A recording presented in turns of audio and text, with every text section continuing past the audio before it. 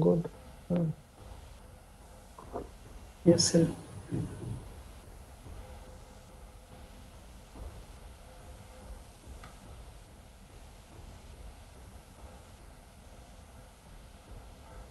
We'll start in a minute. Yes, sir. Right. Uh, good evening, everybody. Welcome to this evening episode of Pursue. Today we have Neuropathology Pursue 7H, and we are streaming live from AIIMS Jodhpur via Kolkata. And uh, we have with us uh, Dr. Vikarn Vishwajeet, who is an MD, PGI Chandigarh, DM Histopathology from PGI Chandigarh. Presently, he is an assistant professor in the Department of Pathology and Lab Medicine, AIIMS Jodhpur. He's got multiple publications in national and international journals. And today the topic is CNS infection and miscellaneous disorder. Before I ask Dr. Vikarn to start, let me ask all of you to keep your mic muted, your camera off, and please don't share your screen. With this, let me request uh, Dr. Vikarn, sir, please take over and start share your screen. Sir. Thank you. Thank you, sir.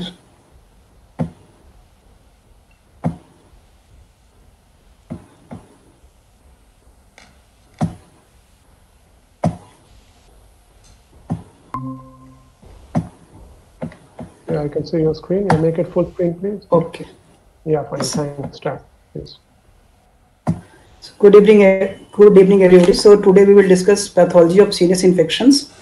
Uh, so before I will start my presentation, I want to this presentation various diagrams and images are included, which are taken from different articles and textbooks, which are duly cited. And I want to express my sincere gratitude to all my teachers from PGI Chandigarh. The present, this presentation is aimed mainly for postgraduate training and is simplified with representative images. So coming to the presentation, so we all know a wide variety of infectious agent, bacterial, fungal, viral and parasitic agent may affect the central nervous system. This may affect the meninges, cortex, white matter or ventricles that may result in meningitis, encephalitis or ventriculitis or it may be a diffuse process. First we will talk about bacterial infections and we will also discuss about TB, uh, tuberculosis separately. So bacterial infections occurs in all age group and the common pathogenic organisms vary with the age and three bacteria pneumococcus, meningococcus and haemophilus influenza are the most common while the other E. coli and listeria are more common in pediatric patients. So infections can occur in each of the four compartments including epidural, subdural, subarachnoid or intraparenchymal and in bacterial infections purulent exudate can be seen involving the leptomeninges. Here in this picture we can see meninges which are opaque at the at the convexities they are uh, dull. And also in another picture we can see greenish yellow purulent exudate which is maximal along the course of leptomeningeal vessels. So this is classic of the bacterial meningitis. But uh, one exception is there in listeria monocytogenes. The reaction is different and there is formation of microabscess uh, particularly in brainstem where they are known as listeria nodules. So on histopathology uh, the reaction is neutrophilic. Bacterial colonies may be present in this uh, uh, neutrophilic exudate, but however, it may require a special stance for demonstration. Here, the purulent exudate comprises chiefly of the neutrophils and degenerated inflammatory cells. After few weeks, this reaction is transformed into lymphocytic and macrophages response and uh, sometimes the leptomeningeal veins are involved in pyogenic infection and accompanying thrombophlebitis can be noted. The infections can spread to the ventricles as we can see here and can produce ventriculitis. Sometimes brain abscess an, can also be formed in bacterial infections. Uh, here we can see a parietal lobe abscess arising at the corticomedullary junction with the area of central necrosis and surrounding peripheral capsule composed mainly of granulation tissue. And this is a temporal lobe abscess with purulent abscess in the center and surrounding granulation tissue. So abscess of hematogenous origin usually occur at the gray-white junction and these on MRI usually appear as hyper ill-defined hyperemic areas. Uh, this is one of the coronal sections with a partially encapsulated bacterial uh, brain abscess with surrounding area of hemorrhage. And uh, here again, we can see abscess with surrounding edema, which resulting in the midline shift. Here we can see there is shift to the left side. The border of these uh, abscesses are hyperemic. Sometimes the abscess can be multiple, like here you can see in this way, there are two abscesses. Uh, one is located in temporal, near the temporal lobe, and another is located in uh, parietal regions, in gray uh, white matter areas. And uh, sometimes the abscess may rupture and lead to the pus discharge on the surface as well. In severe cases, this may be seen. Microscopically, uh, as we see, there are seats of neutrophils with collagenized area. So this collagen is demonstrated by this uh, Masson trichrome stain. So at the periphery of these abscess, there is laying down of collagen as well, while in the center there are collection of numerous neutrophils. Slowly, central area become necrotic and the surrounding area shows granulation tissue, fibroblast and new blood vessels. So then uh, there is a zonation in which the plasma cells and lymphocytes are noted in the granulation area, followed by dense fibrous tissue embedded uh, astrocytes and there is area of reactive gliosis in the periphery. So this is a area of abscess with central degeneration. Next we come to the tuberculosis. We know that tuberculosis is caused by the mycobacterial infection. The spectrum of intracranial tuberculosis includes tubercular meningitis which is the most common, then tubercular meningitis with miliary tuberculosis, tuberculous encephalopathy, tuberculous vasculopathy and space occupying lesions in the form of tuberculoma and tuberculous abscess. Tuberculous uh, spinal cord can also be involved and similar presentations can be noted like the, there can be Pott's spine, tuberculous ethmoiditis or spinal tuberculoma which is non-osseous and then spinal meningitis can occur. A, a, few points about the tubercular encephalopathy. Tuberculous encephalopathy is a syndrome which is mainly seen in infants and children with pulmonary tuberculosis. Here the main finding is the development of diffuse cerebral disorder in the form of convulsion, stupor and coma. However, there is no sign of meningeal irritation or focal neurological deficit. Pathologically, there is diffuse edema of the cerebral white matter with loss of neurons in the gray matter. Sometimes it areas resembling hemorrhagic leukoencephalopathy or post-infectious demyelinating encephalomyelitis may also be observed in tuberculous encephalopathy. However, uh, granulomas and typical tubercles are not noted in this. So uh, coming to the gross pictures of uh, tuberculous uh, meningitis, as we have seen purulent meningitis mainly spread to the convexities, but the tuberculous meningitis, the meninges over the base of the brain are most often involved. Sometimes tubercles can be seen. Microscopically, the inflammatory in infiltrate mainly uh, involve the leptomeninges, subpial region ependymoma or subependymal parenchyma. And uh, they show main central area of necrosis, caseous necrosis surrounded by epithelioid macrophages reaction with a peripheral rim of lymphocytes. So this is the classical uh, tubercles that can be seen in the leptomeninges. Sometimes in tuberculous meningitis, the exudate can be so thick that it can result in uh, blockage of the CSF flow and this result in secondary ventricular dilatation. Leptal, uh, leptomeningeal arteries are frequently involved in uh, tubercular meningitis and their involvement can result in uh, underlying stroke. And here we can see one artery where there is uh, obliteration of the lumen, or narrowing of the lumen, and there is almost complete obliteration of the lumen of the vessel, and due to which there is result in a stroke. So in fact, tubercular meningitis is one of the common cause of a stroke in our country. So this is Lower Gestion where you can see the area of um, infarct caused by the uh, ob obliterans endarteritis uh, obliterans.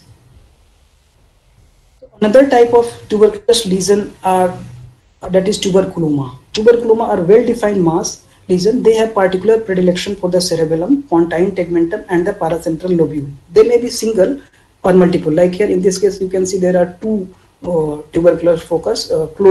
They might be uh, in continuous in but here you can see this. They are two distinct lesions.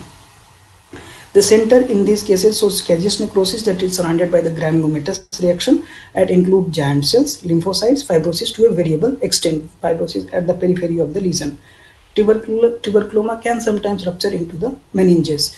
Uh, another uh, important uh, lesion mimicking tuberculoma is the abscess. Abscess is uh, usually solitary and larger and they they show rapid progression compared to the tuberculoma. Sometimes the, there is diagnostic difficulty on uh, radiological imaging to differentiate whether the lesion is tuberculoma or uh, tuberculous abscess. However, usually abscess are uh, solitary and larger and they their clinical course is more rapid.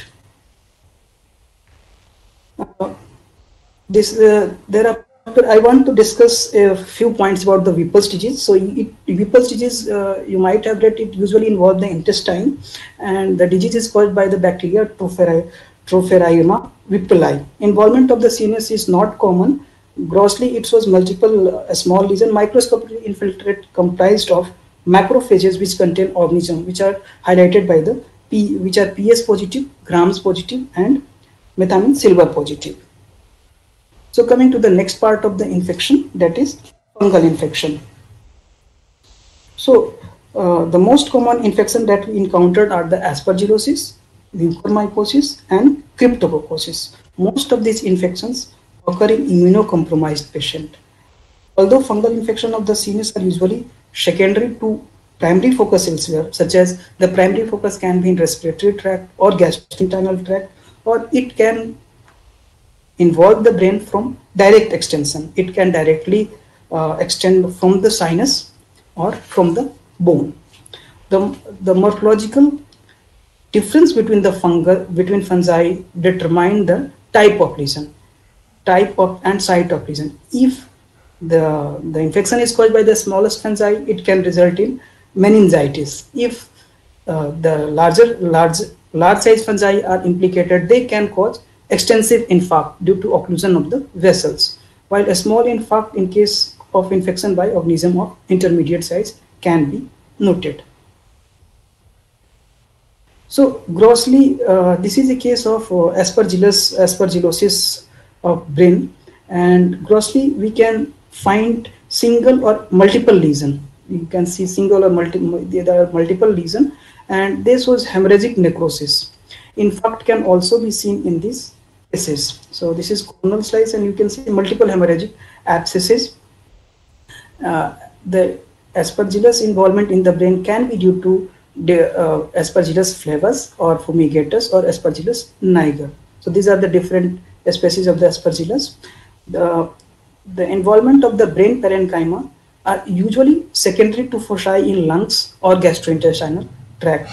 Microscopically, we can see uh, it can uh, give rise to abscesses or granuloma. Sometimes the vascular involvement can be noted, uh, which can result in uh, extensive hemorrhage in the surrounding area. So demonstration of fungal hyphae is required for the diagnosis. And here you can see this is a Grocott testin and you can see slender septate hyphae with acute angle branching. So Another uh, reaction pattern can be noted like the necrotizing inflammation. Here you can see the areas of necrosis surrounded by these epithelial looking histiocytes and lymphocytes like lymphocyte cells. So usually the fungal uh, aspergillosis can incite giant cells. So here we, we can see Langerhans type of multinucleated giant cells. And in some of the giant cells, if carefully searched, you can see the negative shadow in the uh, within the giant cell and these are the uh, fungus which are further confirmed on a special stains like PAS or Grocott, Grocott stain. So it is essential to confer to order PAS and Grocott stain whenever you are seeing multinucleated giant cells or such type of reactions in brain parenchyma. And reaction pattern is also very important to identify because reaction pattern is the primary thing which you will lead to suspect a particular causative organisms. So mm, coming to the next fungal infection that is mucormycosis. Mucormycosis is relatively less common fungus. Mostly it involves and by direct infection from the sinuses or because of uh, close proximity of the frontal lobe, it can involve the frontal lobe. In that case, it will be called as rhinocerebral mucormycosis. Uh, mucormycosis is more common in immunocompromised patient and multiple lesions can be seen. Like uh, in this case, we have, uh, you can see multiple lesions are multiple hemorrhagic type of lesion are present. So usually fungal uh, fungus like aspergillus and mucormycosis, they give hemorrhagic type of lesion in brain. So the reaction to mucormycosis uh, is neutrophilic uh, with area of necrosis. So you can see numerous neutrophils here and this slender, this um, uh, fungal hyphae, long fungal hyphae. And uh, so sometimes the reaction pattern can be like bland necrosis. There is complete paucity of the um, inflammation and there is bland, bland infarct area. So in that case, you should suspect mucor because that is the classical reaction pattern noted in mucor. Uh, the, this fungus usually appear as a broad aseptate hyphae with right angle branching and it can be highlighted on PS stain like this and Grocott stain can also be done to highlight these organisms. Coming to another fungus which can infect the brain is Cryptococcus neoformans. It is a dimorphic fungus and it can have yeast or hyphal form as well as a spore form. Usually it occurs in patients who have HIV infections or have developed uh, AIDS. Uh, so in this case, we can see the patient has a cryptococcal meningitis and this is a coronal slice and we can see widening of the perivascular spaces. And these perivascular spaces on microscopy usually reveals presence of numerous gelatinous encapsulated organism. And because of that it gives a slimy kind of feel on touch so microscopically, it can show necrotic center, which will be full of capsulated form of organisms. And this capsule is seen in HN, uh, routine hematoxylin and eosin as an area of clear halo around the organism. Budding, form, budding forms can also be noted. So, and in this picture, you can see expanded post forming cyst-like areas, and this is filled by cryptococcus. You can see this type of cryptococcus and surrounding brain parenchyma, there is lack of inflammation. There is no significant inflammation in the area. So if you are expecting seeing this type of reaction and you suspect cryptococci, you can order PS Alcian blue staining for the confirmation or mucicarmine stain. So these two stains are very important when you are suspecting cryptococcus. Coming to the uh, next part of the uh, infections, that is viral infections. So viral infections includes herpes simplex virus, JC virus that causes progressive multifocal leukoencephalopathy, then SS subacute encephalitis, which is caused by measles virus, then rabies virus. Uh, so this type of, uh, then you have uh, JC virus that causes progressive multifocal leukoencephalopathy the standard histopathology in case of viral encephalitis consists of perivascular lymphocytic accumulation, diffuse parenchymal lymphocytic infiltration, or there can be neuronophagia. Neuronophagia is a very uh, good histological evidence. Whenever you look uh, features of neuronophagia, you should always suspect virus and always uh, ask the clinician to confirm either by PCR uh, or other uh, serological technique. So uh, if you are lucky enough, you, if uh, certain viral inclusion can be seen, so viral inclusion that can be noted are intranuclear, which are seen in herpes simplex virus, herpes zoster virus, measles virus causing subacute sclerosing panencephalitis. Then you can have cytomegalovirus or JC virus have intranuclear inclusion that give rise to progressive multifocal leukoencephalopathy. Then Nipah virus. Some of these viruses also have intracytoplasmic inclusions like herpes simplex, CMV, SSPE, and Nipah virus. Rabies characteristically shows intracytoplasmic inclusion in the form of Negri bodies. So it is important to remember normal brain does not contain any parenchymal um, T cells. So their identification by immunohistochemistry is very uh, critical for diagnosis of encephalitis.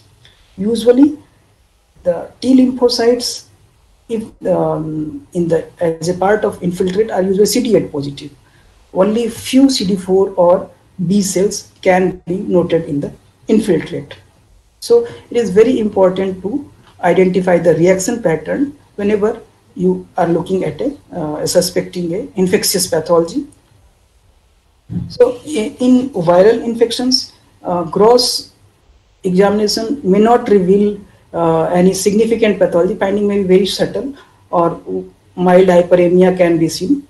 On microscopy, there, there can be vascular congestion or scanty infiltrate of lymphocytes in the leptomeninges and perivascular spaces. So you can see this is a section of the cerebellum and uh, uh you can see this uh, leptomeningeal vessel which is congested and then, then there are inflammatory cells in its uh, surrounding tissues. So the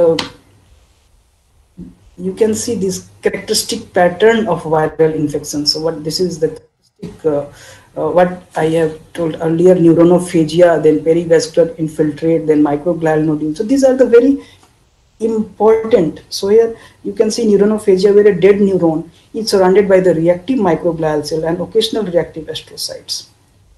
And it is important clue when you are suspecting viral infections. And when you find this, you should always start work of for viral etiology. Perivascular lymphocytes, although it is not a very specific uh, finding, but can be seen in variety of neoplastic or non-neoplastic conditions. But if you are finding this perivascular inflammation along with neuronophagia, then it will support your diagnosis. Another reaction is proliferation of red-shaped activated microglial cells. Like here you can see this, uh, these are the microglial cells which are proliferating and they can form microglial nodules. So other non-specific viral reaction can include uh, microglial astrocytic activation, microglial cell activation, variable degree of plasma cell and eosinophilic infiltrate. So this can be noted. And if you are looking for, uh, you should always look for inclusion. So inclusion can be noted in endothelial cell, it can be seen in neurons, it can be seen in oligodendrocyte or it can be seen in astrocytes. So depending on which virus you are suspecting, you can uh, look for the inclusion. So if you are looking for uh, cytomegalovirus, there is intranuclear inclusion. Inclusions can also be noted in PML, progressive multifocal leukoencephalopathy. There can be intranuclear inclusion in oligodendrocytes. So a few point about how uh, the viruses gain access into the central nervous system. So five distinct mechanisms have been described as you can see here. The first is infection of the peripheral nerve. So what happens? Virus is spread from the mucosal epithelium. So this is the uh, mucosal epithelium and virus enter uh, to sens sensory or autonomic neurons. In infection, there is infection of axonal terminal and through retrograde axonal transport, they spread to the spinal cord. Similarly, if a skeletal muscle is involved by the virus, the virus access into the neuromuscular junction and from there it reaches the motor neuron and finally it get access to the spinal cord and brain. So this type of virus spread is particularly noted in herpes virus, herpes simplex virus, polio virus, rabies virus and varicella zoster virus. So these are the common viruses that so spread along the peripheral nerve. Now the second pattern of uh, viral um, spread is along blood-brain barrier. So what happens? This is a blood vessel schematic diagram, and you can see this is a lymphocyte which is infected by the virus. So the virus undergo undergo rolling, and finally they attach to the endothelial cells and traverse the endothelial cell layers and glia limitans. Viruses spread to neurons is uh, occur when they come in contact with neurons or they can directly the virus can directly infect the endothelial cell itself which later lead to the spread into the brain parenchyma so this is uh, the second way now coming to the third way is infections of olfactory neurons so these um, infections along the blood brain barrier uh, is noted in case of measles virus West Nile virus and varicella zoster virus. Now third pattern is your infection of olfactory neurons. So which is seen in canine distemper virus, herpes simplex virus and influenza virus. So in this case, what happens virus present in the mucosa of the upper respiratory tract can directly uh, infect olfactory sensory neurons. So they infect directly the olfactory sensory neurons present in the olfactory epithelium.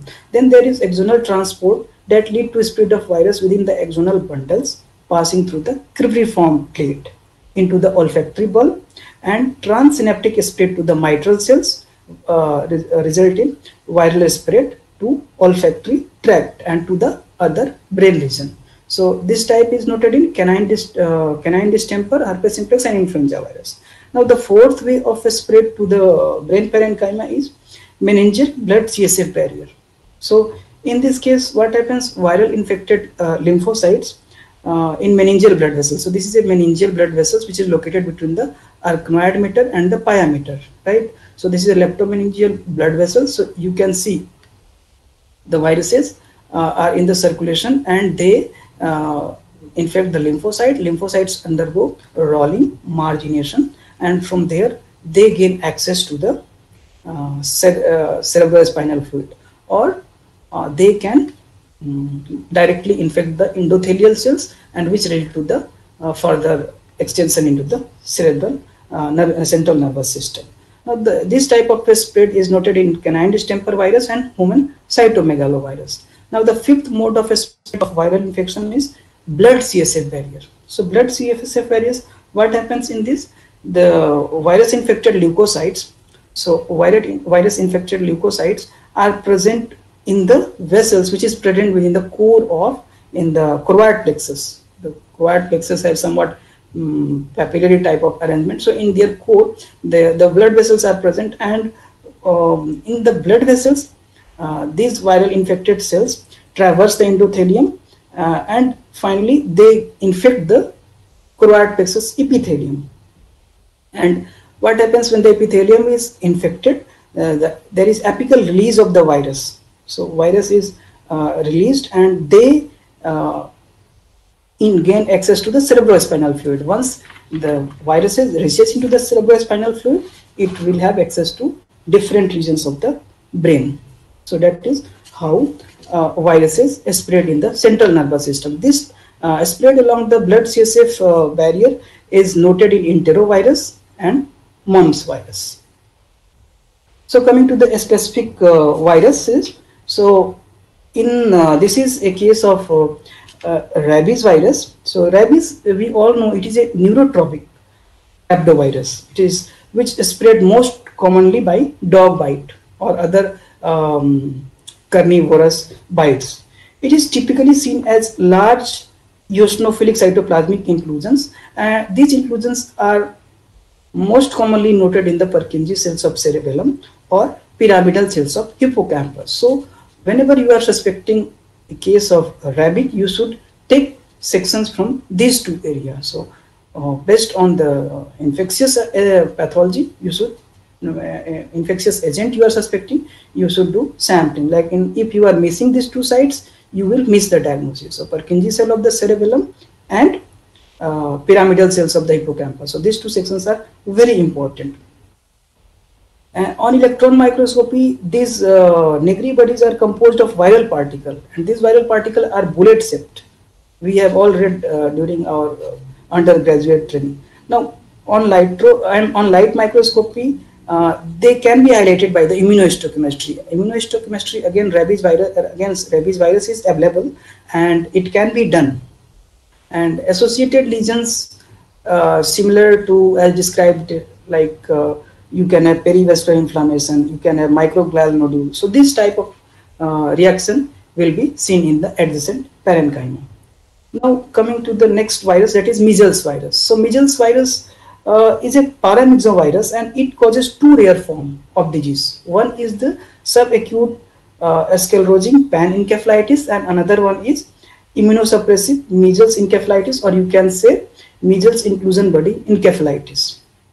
So one Subacute sclerosing panencephalitis uh, is uh, occurs usually uh, many years after an episode of measles, while the second entity that is measles inclusion body encephalitis usually develops within months of initial systemic infections.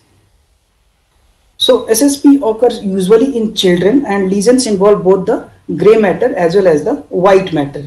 In the gray matter, cortex is affected uh, and uh, basal ganglia can also be affected and there is massive demyelination this is a Loyez stent which is an iron hematoxylin stent for demonstrating the myel demonstrating myelin so here you can see there is uh, massive demyelination of the white matter and also there is extensive cortical atrophy as highlighted by the widening of the sulci.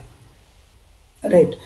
So microscopic examination in these cases shows features of subacute encephalitis. There is neuronal loss, occasional neuronophagia can be noted.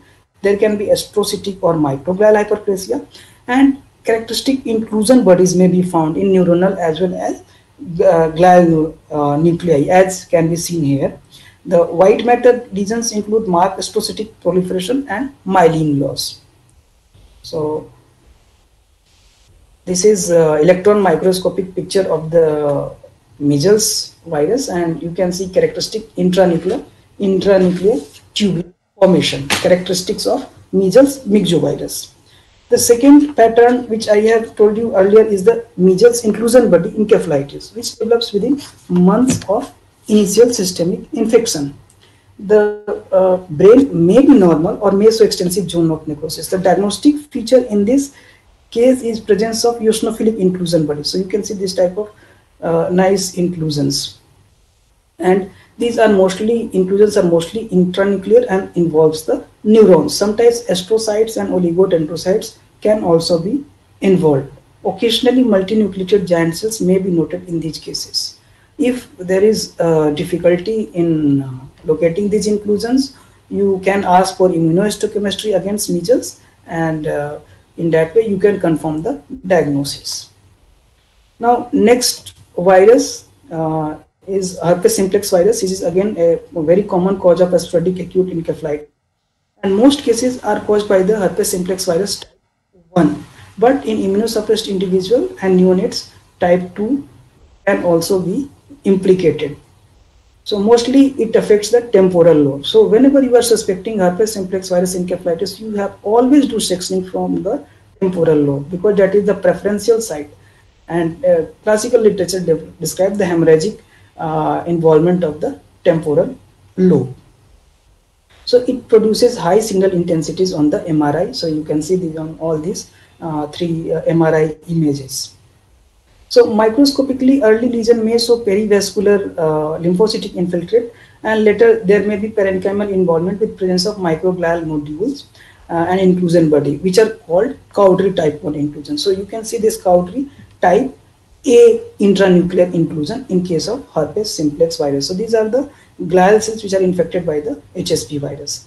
They, uh, they on electron microscopy show aggregates of viral particle. IHC can be done uh, to confirm these uh, viruses and uh, also the sample can be sent for PCR as well.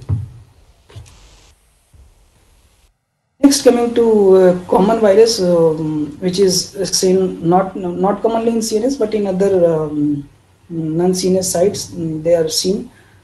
Uh, this is cytomegalovirus. So it is an opportunistic infections and usually occur in immunocompromised patient give uh, rise to diffuse non-necrotic encephalitis lesion and which is uh, present as microglial nodules, some of which contain this type of cytomegalic cells. Cytomegalic cells, uh, there is some, uh, there is intranuclear inclusions as well as intracytoplasmic inclusions and both uh, can be seen in the same type of cells and the cells which are involved by the uh, cytomegalovirus includes neurons, glial cells, endothelial cells, and even macrophages. So these all cells can show presence of, uh, can evidence of cytomegaly and the characteristic inclusion. But most commonly, endothelial cells are involved.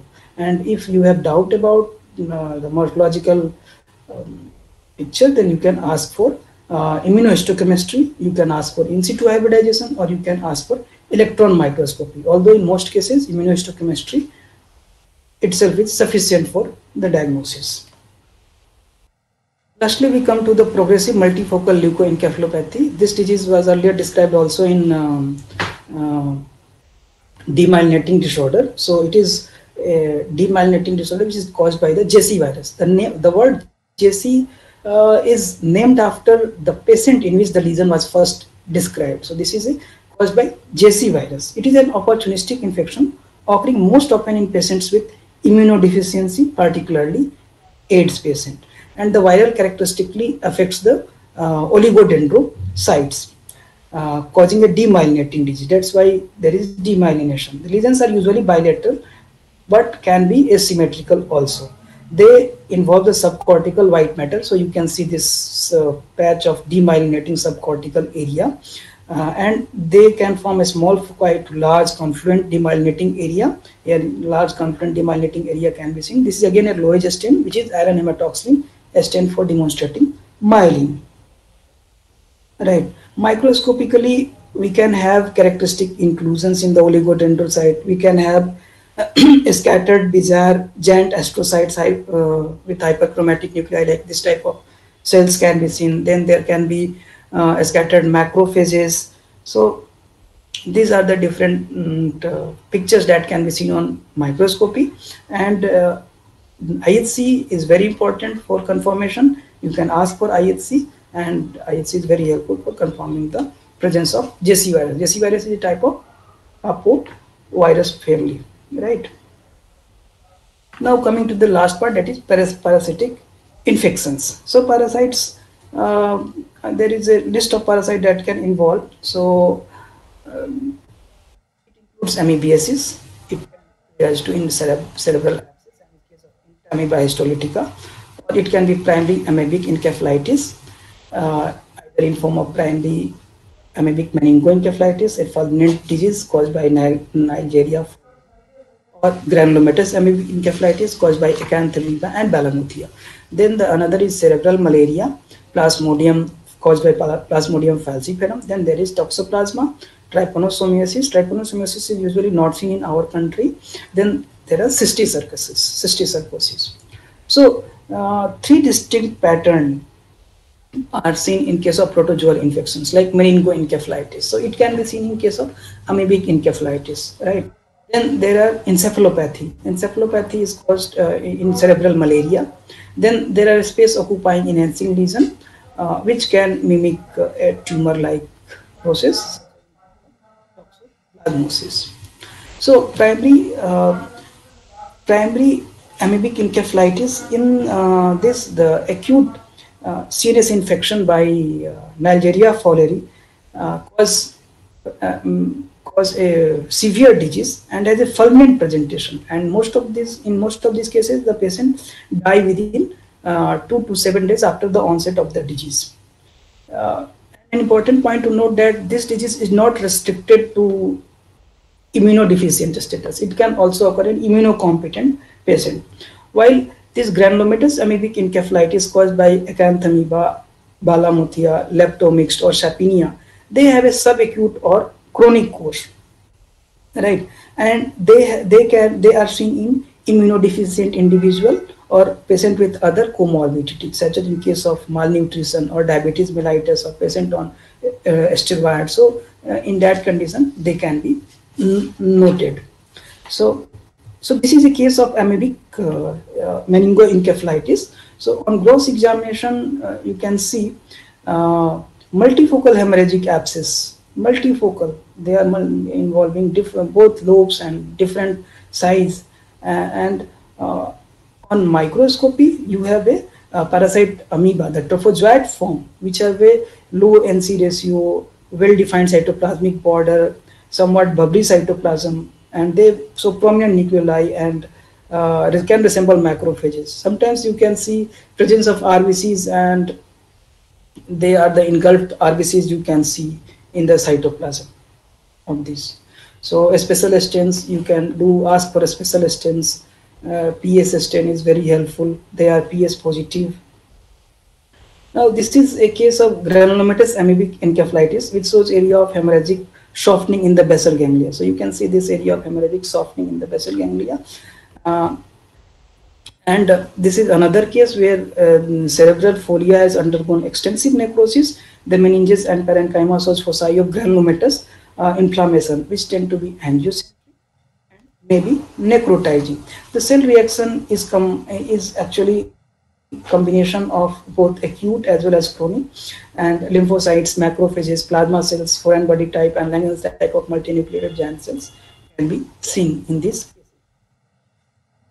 Now coming to the cerebral malaria. So cerebral malaria is caused by infection with protozoan parasite that is uh, plasmodium transmitted by Anopheles mosquito. We all know that, right? Four species have been described. Now, the malaria is very is an important and complex neurological infection, and it is not related to immunodeficiency. And the diagnosis is, I mean, most of the time the diagnosis is clinical rather than a pathological diagnosis, and should always be considered in the differential diagnosis of any patient who has a febrile illness with impaired consciousness, particularly coming from endemic area or who, who are traveling to those who are traveling history of travel to those area. So the, the main uh, specific finding on histopathological examination is sequestration of parasitized blood cells within the cerebral vessels, right? Other neuropathological features includes petechial hemorrhages, ring hemorrhages and granuloma, right? So petechial or, or larger hemorrhage can occur in any part of the uh, can any part of the brain, but most likely they are seen in the white matter around the arterioles and venules. Ring hemorrhage usually consists of a series of concentric rings surrounded by central necrotic blood vessels. The outermost ring contains a mixture of parasitized erythrocytes, free pigment and host monocytes, while the inner layer consists of gliosis and uninfected RBCs. And this granuloma, Dürck granuloma, very characteristic for um, cerebral malaria, they are circumscribed, diffusely scattered cellular reactions. Actually, they are collection of astrocytes and microglia uh, containing iron pigment. So um, it has been postulated that they are due to resorption of ring hemorrhage. So ring hemorrhage and Dürck granuloma are possibly a temporal a spectrum of the same lesion and granuloma develops later in the course when RBCs are cleared and the host response um, is there. So this is a very nice gross picture. Uh, you can see uh, on gross, you can see there is characteristic slate gray appearance. So there is petechial hemorrhage in the subcortical areas uh, in case of heavily parasitized brain and there is deposition of malarial, malarial pigment which can give a slate gray color due to presence of abundant malari malarial pigment. The cerebral cortex uh, have a abnormal dusky pink color uh, due to marked congestion and the white matter as in this case uh, multiple petechial hemorrhage. The meninges are also discolored although not seen in this picture but they are discolored and have a uh, dusky dark red appearance.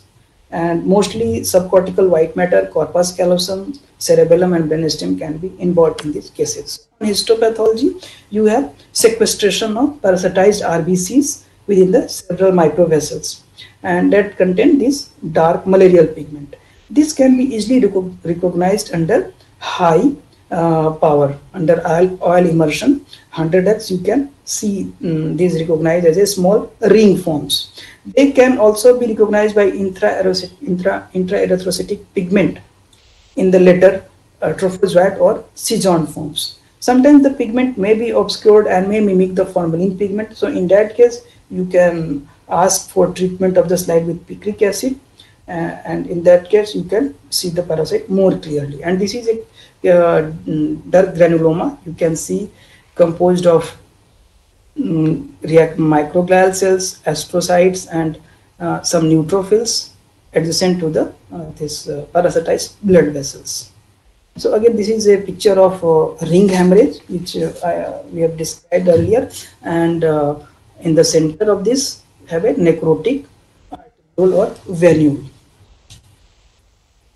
Right. So coming to the next parasitic infections.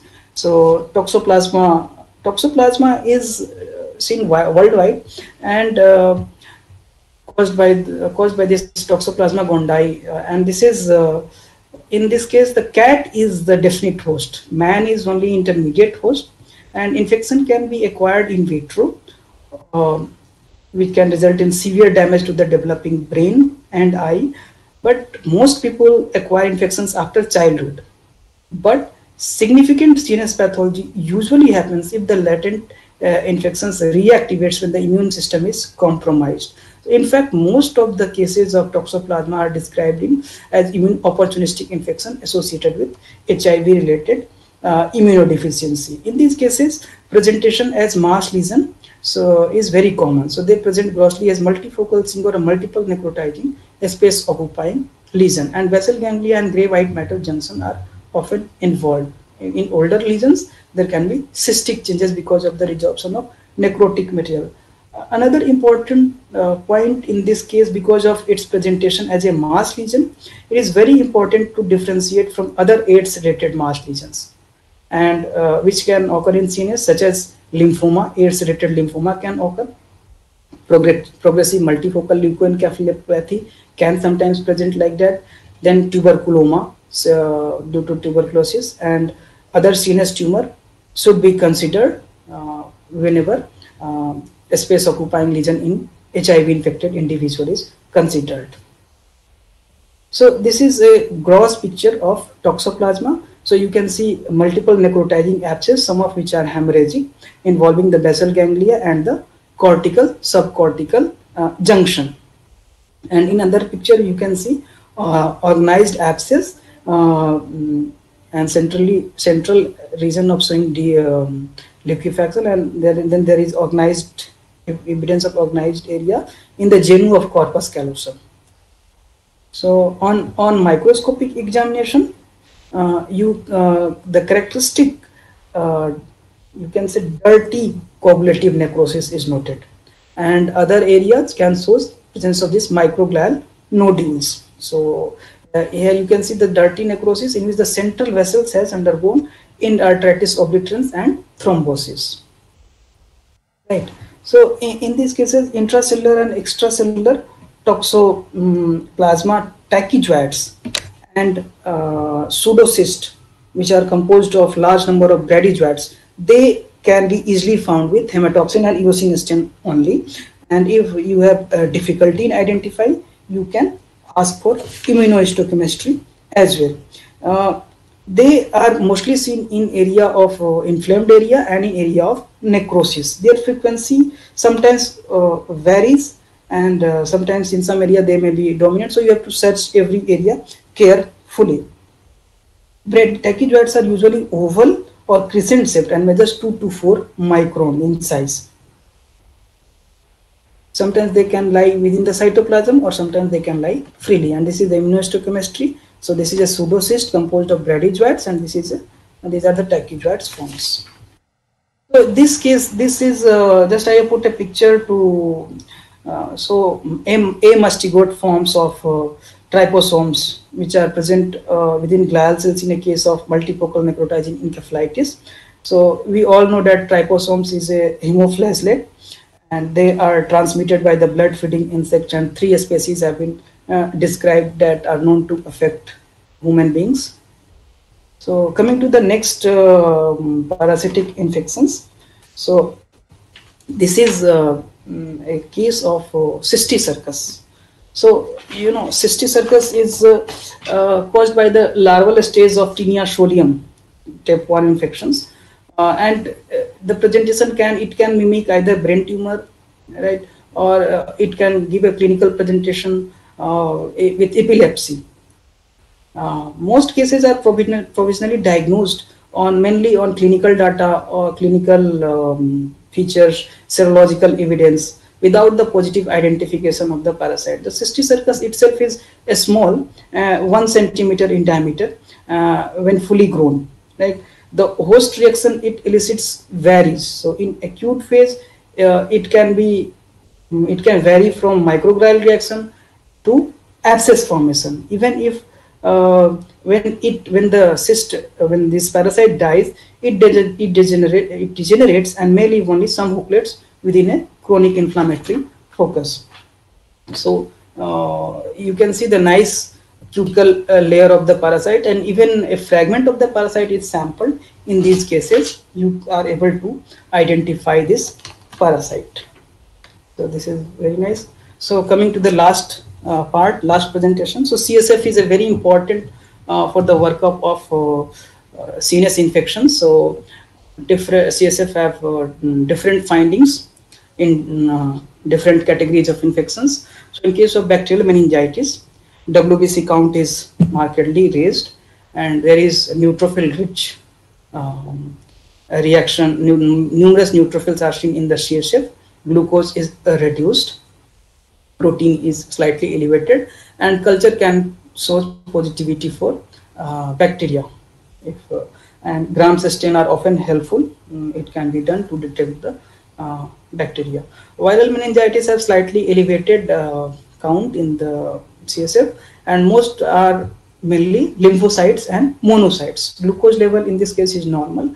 Protein can be normal or slightly elevated and yes, the culture is negative in these cases and you should ask for PCR. PCR can be done on CSF fluid to detect the viral uh, virus implicated. Then chronic meningitis that can be caused by tuberculosis or fungal infection. It has marginally raised WBC, um, can have marginally raised WBC in CSF. The cell reaction is similar to viral meningitis and it can show lymphocytic or monocytic response. Glucose is low in these cases, protein is elevated. So these two point differentiated from the uh, viral meningitis. Now you can ask for culture for tuberculosis, fungi. You can do a special stance to identify like Indian ink preparation or um, AFB stain for tuberculosis. So they can be done. And other ancillary tests like cryptococcal antigen, VDRL test for syphilis, they can, TB PCR can be done for uh, tuberculosis. So they are helpful in establishing the cause of meningitis. Then there is encephalitis. It also shows increased number of WBC and they are mainly uh, mononuclear response, mainly lymphocytes or monocytes. Glucose is uh, normal in these cases, protein is slightly elevated and depending on the organism in, implicated, you can ask for culture and PCR and uh, radiological imaging are important for the uh, diagnosis. Now, brain abscess usually does not show significant uh, WBC, um, presence of WBC in CSF, but cell types, whatever present, they are mononuclear, they are not neutrophils. Glucose and proteins are usually normal. And if they are, if the abscess has ruptured close to the CSF uh, pathway, so you can have bacterial culture positive and MRI and CT are very helpful for the diagnosis. So that's all about today class. Thank you. Oh, wonderful. Excellent presentation. What a wonderful capsule, Dr. Vikrant. I think this Thank one you, hour of talk is uh, good enough for everybody. Uh, postgraduates, uh, fellow people who are going to appear for uh, for fellowship exam. wonderful presentation. I, I, have hardly heard anybody speaking so well, so crisp, so to the point, you, and eliciting all the important points which are important for us to know. Every bit has been captured. Excellent job, Dr. Vikrant. Wonderful job. Let me Thank ask if sir. anybody Thank has any much. questions. Wonderful. Anybody has any questions? Just let's wait for a minute. If anybody has any question on the YouTube, just let me wait and see.